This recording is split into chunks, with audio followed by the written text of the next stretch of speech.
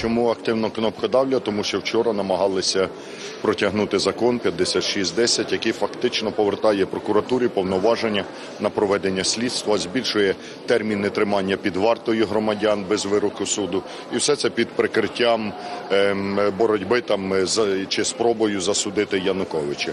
Януковича щось три роки засудити не можуть, а натомість отримують собі незаконні розширені повноваження, якими фактично обмежуються права громадян на захист, обмежуються права адвокатів на надання юридичної допомоги і значно розширюються повноваження прокурора.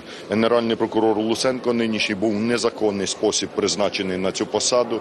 Під нього було змінено закон волюнтаристський спосіб шляхом підкупу депутатів, про що розказав, до речі, корупціонер Оніщенко, колишній бізнес-партнер і президента Порошенка Юлії Тимошенко і усіх інших отут смотрящих в парламенті Кононенко, Березенко, Оніщенко. І вони в корупційний спосіб це намагались робити. Вчора в такий же корупційний спосіб, шляхом кнопкодавства, намагались протягнути цей закон. А потім українці хочуть, щоб вони їм робили щось добре, якщо вони роблять це в незаконний спосіб. Е, Коли е, не, справами нічого доброго не вийде. Тому ми вчора за це не голосували. Ми не дали можливості прийняти цей закон. Зрозуміло, що ця банда відступилася. Взяла паузу, але зараз концентрують сили, щоб далі попробувати це протягнути. Я стверджую, що всі ці розмови про те, що вони хочуть е, внести зміни до кримінального процесуального кодексу, щоб засудити Януковича, все це брехня. Насправді Луценко і Порошенко який його кришує. Вони хочуть нових додаткових повноважень для того, щоб е, проводити політичні розправи руками прокуратури над своїми політичними опонентами. Це таким чином президент Порошенко готується до наступних президентських виборів, намагаючись зачистити е, простір політичний від. е, Конкурентів, яких він боїться, в першу чергу від нашої політичної сили проти наших кількох депутатів. Мені Луценко вчора сказав, у нього ж ще й ума немає. Розумієте, він з одного боку е, е, е, намагається мене переконати, що ми голосували за цей драконівський закон, а з іншого боку, так мелко шантажує. Там проблеми у Лозового твого депутата, там проблеми в рибалки твого депутата, там і в мене виявляється вже проблеми є. Ну, попитайте, вони ж можуть вигадати все, що завгодно. Наприклад, Луценко е, направив у НАЗК листа, що я вчинив корупційні дії, бо вів програму на телеканалі NewsOne. Правда Ляшка.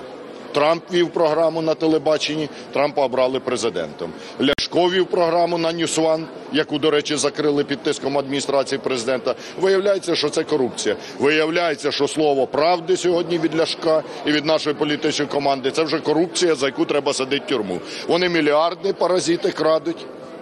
Це не корупція. А Ляшко за те, що програму веде на телебаченні, авторську, головою думає і людям правду розказує. Це в уяві Порошенка і Луценка це велика корупція, за яку треба притягати до відповідальності. Тобто вони нас намагалися вчора так е, низькопробно, так, е, так по-дитячому шантажувати, мене шантажувати. Солі собі насипати на одне місце, а не мене шантажувати будете. Ми нічого не боїмося. Пане Олеже, вчора ухвалили 45 законів зібрали, щоб подати в конституційний суд і зняти мораторій на продаж землі. Це означає, що землю українську по рішенню конституційного суду будуть продавати без жодних законів, і в тому числі є підписи вашого депутата Віткай. Це ж ваш. Як так вийшло? Ви підтримуєте це чи ні? Буде У нас у нас немає депутата Вітка. Це колишній депутат Тушка, який куплений е, Порошенком і його оточенням. Роздавали гроші, намагались розколоти нашу фракцію і купили кількох депутатів. Тому у нас немає депутата. Але е, влада намагається продати землю замість того, щоб навести порядок в Україні, замість того, щоб дати фермерам дешеві кредити, можливість реалізовувати свою продукцію. Вони хочуть протягнути через конституційний суд рішення про визнання неконституційним мораторію. Це афери влади спрямовані на одне позбавити українських селян землі. Ми їм цього не дамо. Пане Олеже, вчора, вчора, е, зокрема, розпочали реформу конституційного суду, і багато депутатів вже почали говорити про знову все ж таки касту, нову касту недоторканих, адже дуже багато привілеїв для суддів конституційного суду і дуже високі пожиттєві е, забезпечення. Мінімум там 360 тисяч кажуть на наразі. Фракція радикальної партії вчора не голосувала за законопроект про конституційний суд України, оскільки ми вважаємо, що ключове це має бути відповідальність суддів. Якраз закон законом цього не передбачено. Нинішній склад Конституційного суду в 2010 році допомагав Януковичу узурпувати владу. Вони досі за це не відповіли. Тому що нинішня влада їх прикриває, бо вони домовилися. Так само склад ЦВК Охендовський. Учора апеляційний суд відмовився за вимогою антикорупційних прокурорів відсторонити Охендовського від посади. Чому цей Охендовський, Прохендовський уже третій рік незаконно займає посади разом із іншими членами ЦВК.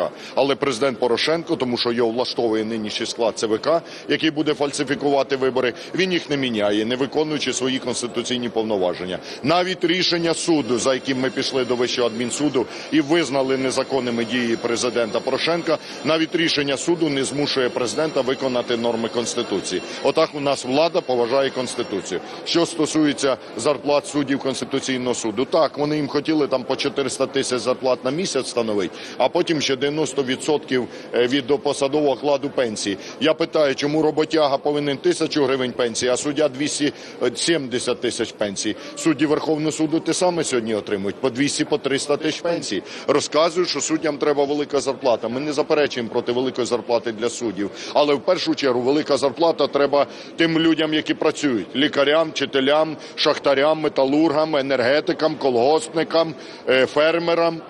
е, Будівельникам, всі ті, хто руками працює, а не чиновникам космічні зарплати, а роботягам кажуть, що не треба взагалі ніякої зарплати давати. І нехай живуть на півтори тисячі гривень. Ми категорично проти цього. Ми вважаємо, що запорука економічного розвитку країни це радикальне підвищення доходів українців, зарплат, пенсій і подолання безробіття. От що дасть можливість підняти країну, а не продаж землі чи підвищення пенсійного віку. Пане Олеже, і щодо дисципліни народних депутатів, а як у вас депутати колись кнопкодавили? Власне, ви колись голосували за кількох народних депутатів? Був такий гріх, на жаль, але ті, хто кнопкодавили, отримали від мене по голові. Щодо дисципліни, великі проблеми з дисципліною депутатів. Я думаю, пояснюються вони одним: занадто багато депутатів. 450 багато, не можуть ходити всі 450 на роботу. Значить, треба скоротити до 200. 200 депутатів будуть ходити. А 450 не хочуть, значить їх і не треба. А крім того, немає механізмів відповідальності. Ми пропонуємо запровадити суворі механізми відповідальності. Пропускає три пленарні засідання, склав мандат, іде бере шинель, іди домой. Ну і зокрема щодо народних депутатів на цьому тижні відзначились Олексій Гончаренко, Іван Мельничук та Сергій Лещенко. А як виборці мають взагалі реагувати на подібне? Це дуже поганий сигнал для виборців. Коли депутати б'ються, це означає, що в них немає розуму. Але я вважаю, що всі ці. Да, ну ви ж бачите гадюшник, який там, як вони між собою навіть публічно вже б'ються. В нашій фракції залізна дисципліна. Я тримаю всіх отак. Чому? Тому що в нас є почуття відповідальності перед людьми. Вони за нас голосують, вони нам довіряють, вони нас підтримують. У нас рейтинги ростуть космічними темпами. Як ми можемо людей надурити? Ні в якому випадку. А от ті, хто б'ються, вони просто ума нема, считай каліка. Але я про інше хотів би сказати: людей відволікають. Ми два дні обговорюємо, хто з ким б'ється. Ми не обговорюємо, як українцям дати роботу, зарплату, як пенсіонерам пенсії підняти, як ліки безплатні дати, як економіку відроджувати. А ми обговорюємо, який да, е, е, дурак побився з іншим дураком. Розумієте, ми не про те говоримо. Країна стоїть на межі економічної і соціально-демографічної катастрофи. Організація Об'єднаних Націй дає прогноз, що нас через 30 років залишиться 20 мільйонів українців. Міжнародний валютний фонд із урядом і президентом хочуть підписати новий меморандум, законсервувавши стан бідності і бананової республіки нашої рідної країни. А ми говоримо про те, хто з ким б'ється. Не про те говорити треба, а про те, як вирішувати соціальні проблеми, економічні проблеми, як відновлювати економіку, як долати бідність, як давати робочі місця українцям, як радикально підвищувати доходи людей. От що треба не тільки говорити, а й робити. Дякую. Дякую вам.